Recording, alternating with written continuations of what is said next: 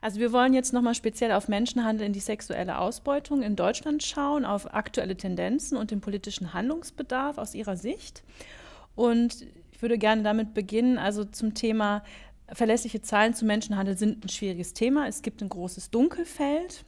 Aber wenn man sich die vorhandenen Zahlen anschaut, zum Beispiel im Bundeslagebild Menschenhandel oder auch auf Seiten der EU, fällt schon auf, dass ein relativ hoher Anteil der betroffenen EU-Bürgerinnen sind und innerhalb der EU viele aus Rumänien und Bulgarien kommen.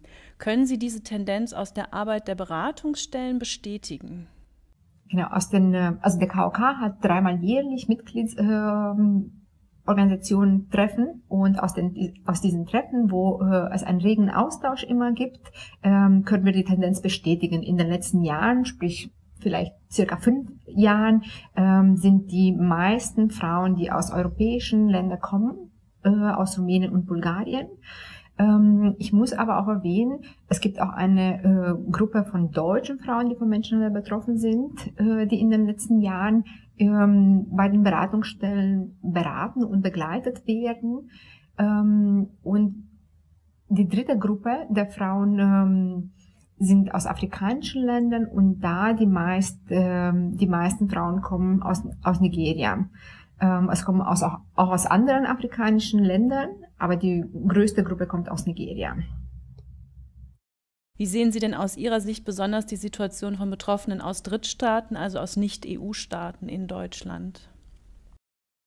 Mm, wir finden, dass die Situation der Betroffenen aus Drittstaaten ähm, sehr schwierig ist. Ähm, äh, für Betroffene von Menschenhandel, die nicht aus EU-Ländern kommen, äh, gibt es die Aufenthaltsproblematik. Das bedeutet, ähm, sie können in Deutschland bleiben, nur wenn sie mit ähm, den Strafverfolgungsbehörden zusammenarbeiten.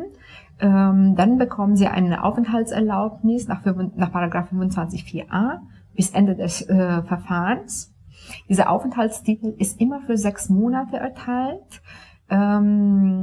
Das bedeutet für die Frauen in der Realität ähm, eine Schwierigkeit zum Beispiel bei Findung einer Wohnung, bei Findung einer Arbeitsstelle. Sie haben mit diesem, Arbeit, äh, mit diesem Aufenthaltstitel eine, Arbeits-, eine Arbeitserlaubnis auch, aber aufgrund der kurzen Dauer des Aufenthaltserlaubnisses äh, haben sie eigentlich keinen Zugang zum Wohnungsmarkt und zum ähm, und zum Arbeitsmarkt. Ähm, was die Betroffenen von Menschenhandel aus Drittstaaten noch für Problematik haben, ist, sie bekommen zurzeit Leistungen nach dem Asylbewerberleistungsgesetz. Ähm, dadurch haben sie nur Zugang zu äh, medizinischen Not Notversorgung. Das beinhaltet keine Therapienkosten, äh, was bei Betroffenen von Menschenhandel manchmal nötig ist. Nicht alle Frauen sind traumatisiert, aber es gibt Frauen, die aufgrund des Erlebnisses auch eine Therapie benötigt benötigen würden. Ähm, und einen anderen, ähm, einen anderen Punkt, der im Zusammenhang mit den Drittstaaten schwierig ist, ähm, ist, sie haben keinen Zugang zurzeit zu Integrations- oder Deutschkursen oder Bildungskursen. und in die, das sind die, das ist die Situation bis Ende des Strafverfahrens. Ähm, Sobald das ähm, Strafverfahren zum Ende kommt, gibt es keinen automatischen, äh, gibt es keine automatische Verlängerung des Aufenthaltserlaubnisses. Und das bedeutet für die Frauen eine sehr große Angst. Einerseits während dieser ganzen Zeit, wo sie in Deutschland sind und mit den äh, Strafverfolgungsbehörden zusammenarbeiten, Angst, dass sie am Ende abgeschoben werden und dann in ihren Heimatländern ähm, von den Leuten gegen die sie ausgesagt haben, Schwierigkeiten bekommen können. Ähm, das ist einfach eine psychische Unstabilität in dieser ganzen ähm, Zeit bis Ende des äh, Verfahrens. Und am Ende des Verfahrens ist einfach ähm, eine mögliche Abschiebung äh, im Raum die Zielgruppe der Betroffenen von Menschenhandel, die einen Aufenthaltstitel nach 25.4a oder 25.4b haben, sollen, also so äh, jetzt äh, der aktuelle Stand, soll aus dem Asylbewerberleistungsgesetz herausgenommen werden. Das ist eine langjährige Forderung des KOKs, die wir sehr begrüßen, über die wir uns auch sehr freuen, weil eben eine große Problematik für die Betroffenen des Menschenhandels immer der Zugang zu den zu der gesundheitlichen Versorgung, zu Therapien und so weiter war. Noch nicht klar ist oder nicht im Grunde genommen nichts geändert hat sich für diejenige, für diejenigen, die sich noch in der sogenannten Bedenk- und Stabilisierungsfrist befinden, die also noch nicht wissen, ob sie mit den Strafverfolgungsbehörden kooperieren möchten oder nicht, ob sie eine Aussage möchten oder nicht. Das ist eben auch eine ganz besondere sensible Gruppe. Die würden ähm, noch unter, unter das Asylbewerberleistungsgesetz fallen.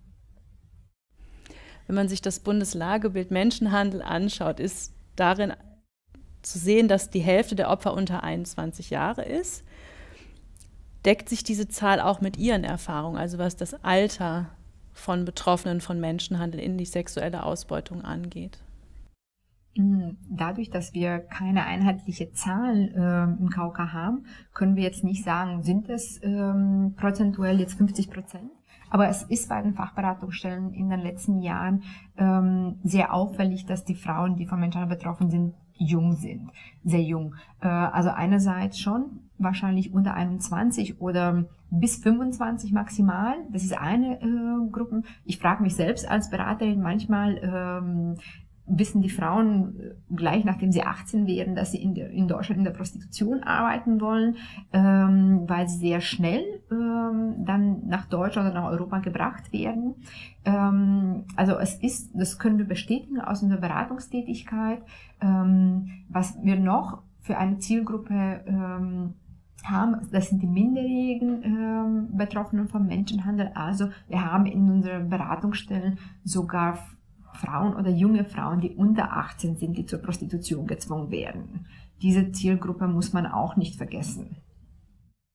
Welche Möglichkeiten der Prävention sehen Sie denn unter den Aspekten Gender, Herkunft bzw. Staatsangehörigkeit und Lebensalter, wenn man das jetzt nochmal in der Zusammenschau betrachtet?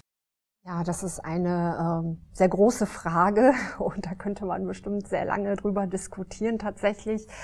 Ähm, ich denke, man muss unterscheiden ähm, einerseits zwischen dem Thema Prävention in den Herkunftsländern und dem Thema Prävention hier in Deutschland im, als Zielland, aber auch natürlich auch ähm, für möglicherweise deutsche Betroffene von Menschenhandel. Unserer Meinung nach ist es wichtig bei Präventionsmaßnahmen in den Herkunftsländern, dass sie dort auch im Wesentlichen von den dortigen Akteuren ausgeführt und durchgeführt werden gerne natürlich auch, wie es auch geschieht, in Kooperation mit äh, beispielsweise Fachberatungsstellen für Betroffene des Menschenhandels aus Deutschland. Da gibt es konkrete ähm, Kooperationsprojekte, äh, die gemeinsam in verschiedenen ähm, Herkunftsländern stattfinden. In Deutschland finden wir es wichtig, dass eine genaue und gute Information über die Rechte in Deutschland erfolgt, dass über die Struktur der und über die Unterstützungsstruktur insgesamt Information breit informiert wird, ähm, auch breiter als wie es jetzt unserer Meinung nach geschieht im Grunde genommen. Ähm, Wesentlich ist es eben, dass dieser Unterstützungssystem, wie wir es jetzt auch in Deutschland haben, dass es einen niedrigschwelligen Ansatz gibt, ähm, der anonym ist, der auf äh, ganz viel auf Vertrauen basiert, dass der fortgeführt wird und so auch weiterhin existiert, weil dieses Unterstützungssystem macht ganz konkrete Präventionsarbeit, indem beispielsweise in verschiedene Betriebsstätten gegangen wird, in ähm, auch äh, Prostitutionsstätten zugehende Arbeit stattfindet, aber auch Beratungsstellen, die eine sogenannte Com-Funktion haben, wo die Betroffenen hingehen können. Ähm, das ist auch ein ganz wesentlicher Teil. Wenn man sich das anschaut, ähm, ähm, nach dem Lebensalter ist natürlich oder ist auch ein Thema Präventionsarbeit für Jugendliche durchzuführen. Da findet auch einige statt von den spezialisierten Fachberatungsstellen äh, im Rahmen von Schulen oder ähm, es, man kann andenken, da eben stärkere Kampagnen in sozialen Netzwerken zu machen, um da eben diejenigen besser anzusprechen. Aber da ja, gibt es ganz viele Ideen, da müsste man noch ganz viel tun. Eine Überlegung ist auch zum Beispiel, wenn man sich das branchenspezifisch nochmal anschaut, ähm, spielen Vermittlungsagenturen auch eine große Rolle, auch im Bereich Menschenhandel zum Zweck der Arbeitsausbeutung, beispielsweise im Bereich der Pflege oder des Au-pairs. Ähm, unserer Meinung nach ist es da wichtig, nochmal über das Thema ähm, staatliche Zertifizierung nachzudenken, aber auch wenn diese Vermittlungen stattfinden, dass die verbunden werden mit einem Informationspaket eben über die Situation in Deutschland. Und ähm, für uns ist eben auch da tatsächlich der Fokus, auch einen frauenspezifischen Ansatz auch zu wählen und da auch nochmal zu schauen, wo da bestimmte Bedarfe sind. Ähm, eine Idee oder Möglichkeit wäre, ähm, da auch nochmal ein stärker internetbasiertes Webportal zu errichten, wo eben allgemein über alle Rechte und Strukturen informiert wird. Es gibt natürlich immer einzelne Webseiten über die Projekte und Beratungsstellen, auch eine sehr informative Webseite des KOKs, aber das was uns vorschwebt, wäre dann noch einmal ein viel breiteres Portal mit verschiedenen Sprachen, wo ähm, alle sofort schnell eben an diese Informationen kommen. In Deutschland ist es ja so, dass, haben Sie vorhin auch schon gesagt, dass die Strafverfolgung noch stärker im Fokus steht als der Opferschutz. Und das wirkt sich auch auf den Zugang von Betroffenen zu Lohn und Entschädigung aus. Welche Schritte wären hier nötig, um die Rechte der Betroffenen zu stärken? Hier wäre es unserer Meinung nach notwendig, ähm, also verschiedene Maßnahmen wären hier notwendig und sinnvoll. Ein Problem ist das Thema ähm, der staatlichen Opferentschädigung, ähm, das Opferentschädigungsgesetz ganz konkret. Das soll jetzt im nächsten Jahr reformiert werden. Das ist so in dem Koalitionsvertrag aufgenommen worden. Und ähm, das unterstützen wir auch sehr stark. Da ist eine Reformierung dringend notwendig. Beispielsweise psychische Schäden werden bisher nicht erstattet über das Opferentschädigungsgesetz. Auch den Kausalzusammenhang jeweilig nachzuweisen ist oftmals sehr schwierig. Die Verfahren dauern sehr lange, teilweise bis zu zwei Jahren. Ähm, und ähm, es gibt noch verschiedene tatsächlich auch rechtliche Problematiken innerhalb, Problematiken innerhalb des Gesetzes.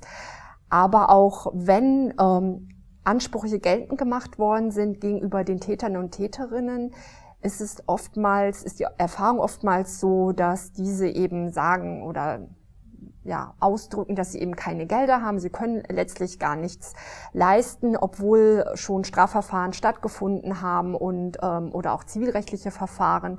Und ähm, unsere Überlegungen sind da, ähm, einen Härtefallfonds einzurichten, zu implementieren.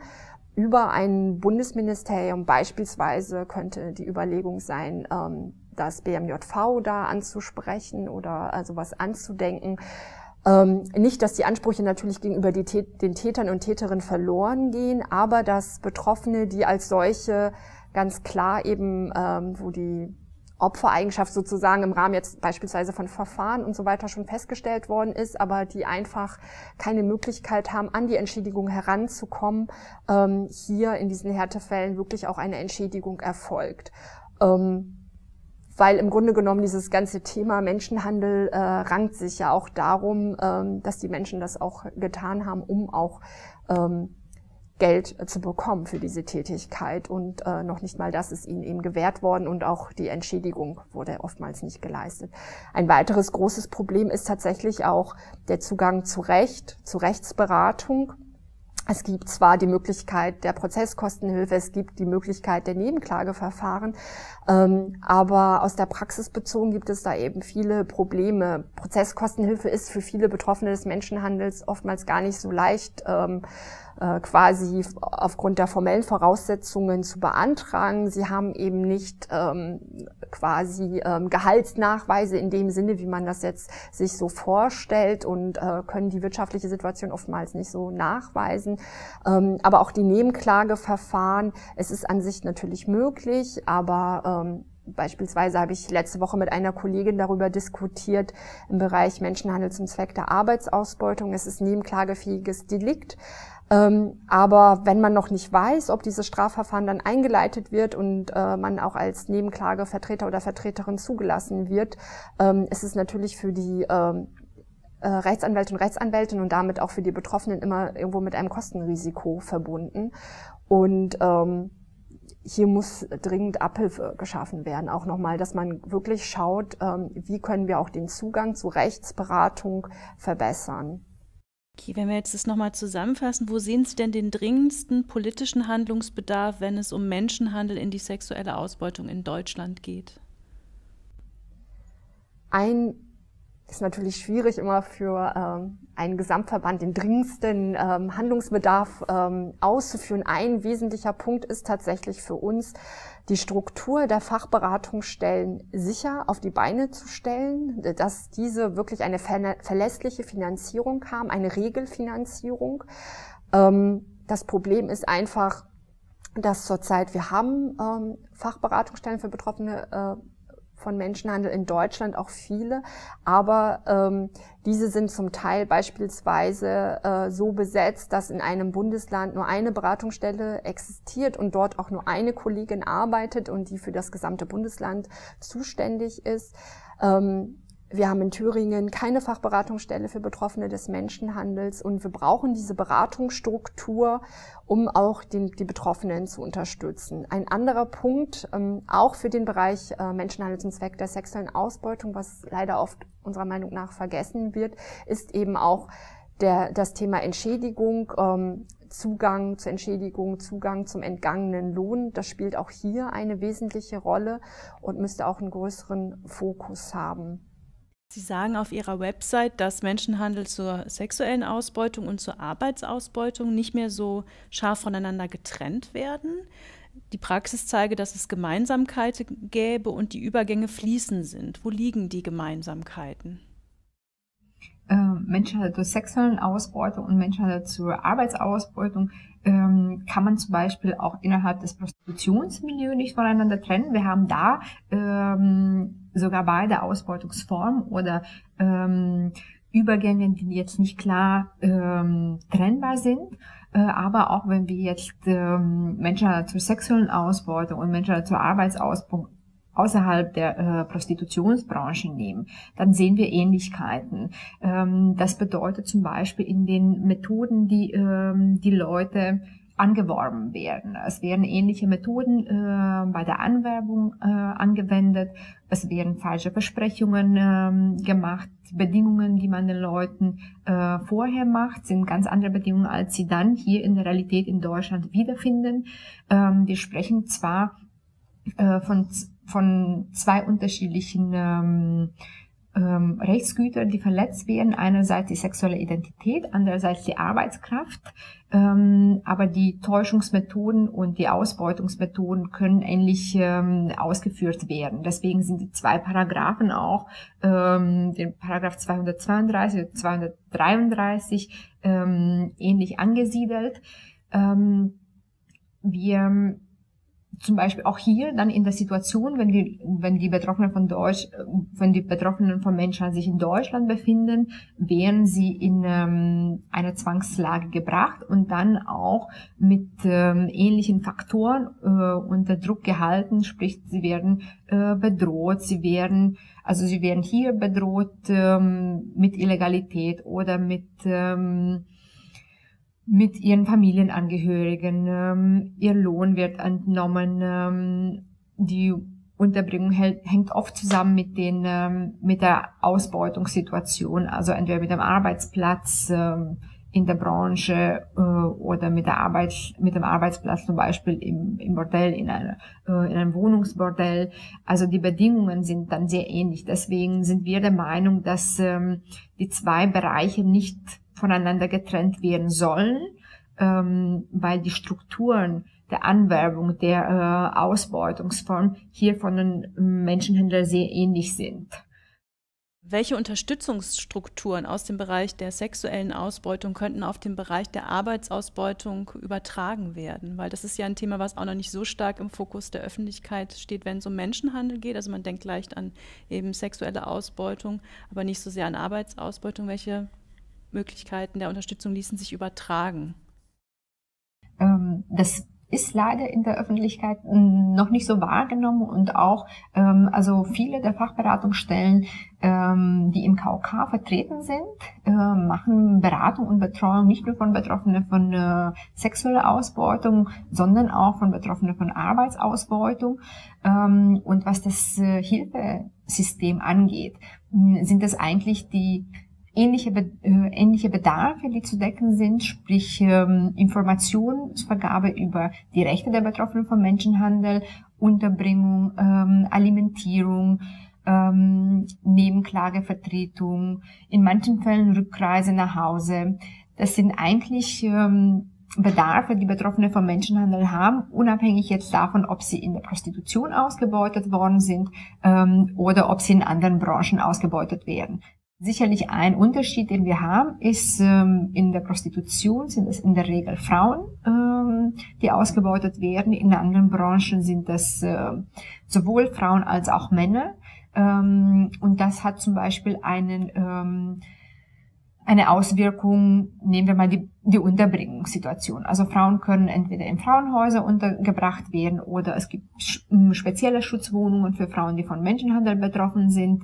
Ähm, diese Problematik haben die Fachberatungsstellen, ähm, die dann mit Männern auch zusammenarbeiten. Es gibt nämlich gar keine Unterkünfte ähm, für Männer in Notsituationen, jetzt nicht nur Männer, die von Menschenhandel betroffen sind. Ähm, also die einzigen Möglichkeiten, die es dann gibt, sind Obdachlosenheime oder ähm, Übergangsheime, aber das sind keine ähm, keine, unter, keine angemessene Unterbringung für Betroffene von Menschenhandel. Deswegen die Strukturen sind eigentlich ähnlich.